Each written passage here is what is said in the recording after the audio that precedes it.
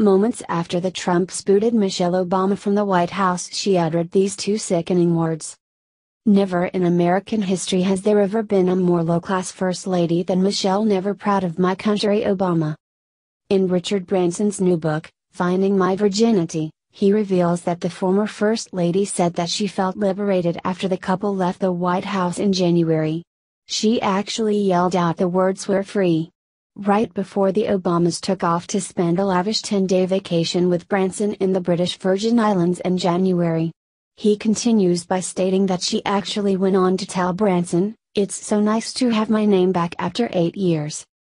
Michelle, it's okay, we, the American people who don't suffer from acute white guilt like our liberal counterparts also felt the exact same way when we saw you and Barry finally boarding that helicopter to leave the White House forever.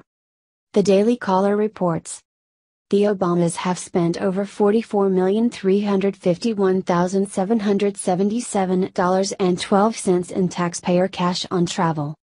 The Obamas have spent over $44 million in taxpayer money on travel and vacations. Some are even calling him the most well traveled, expensive president in our nation's history. As Americans head off for the long holiday weekend, let's take a look back at some of the president's holiday spending. Our president vacations a lot, we're talking $44,351,777.12 worth of a lot, with most expenses charged to the American taxpayer. As of March 2014, Obama has spent more time traveling internationally than any other president, taking 31 trips since assuming office in 2009. The 119 days spent overseas have cost taxpayers millions of dollars. At the same point in their respective presidencies, George W. Bush had spent 116 days on 28 trips, Bill Clinton had spent 113 days on 27 trips, and Ronald Reagan had spent 73 days on just 14 trips. In 2010, Obama flew aboard Air Force One 172 times, nearly every other day.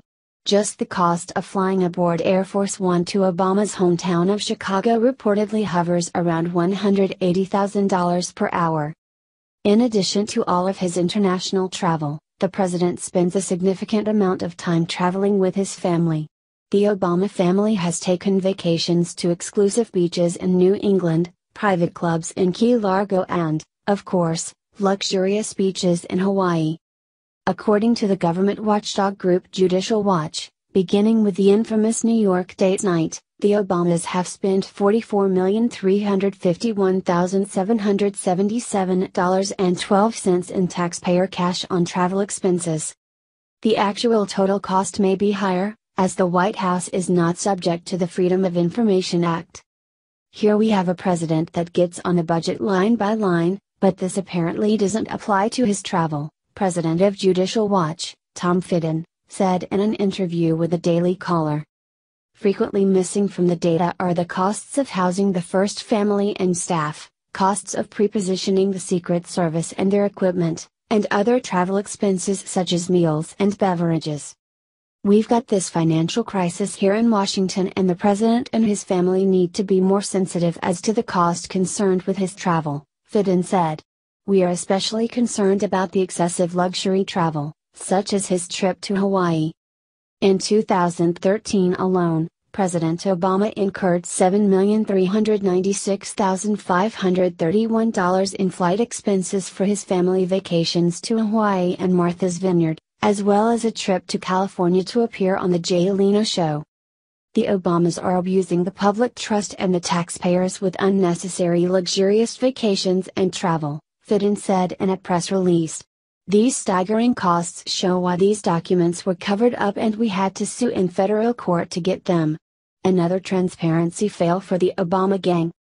It seems like it was so bad being the First Lady that not even the total of $44,351,777.12 spent on vacations was enough to take the sting out of it for Michelle Obama. Not even the trip Michelle Obama, along with her daughters Sasha and Malia, took to Africa to waste taxpayer money in order to promote the former First Lady's Let Girls Learn initiative was enough. Nothing was ever enough for these people. We were all fairly used to, and even expected Michelle Obama taking lavish vacations, most which she would take even without the president. We were used to her pointless goodwill trips that cost us, overburdened taxpayers, hundreds of thousands and even millions of dollars.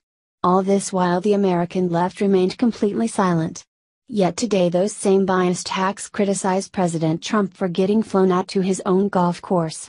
The same way they used to whine about the fact that former President George W. Bush would get flown out to his ranch in Crawford, Texas back during his presidency.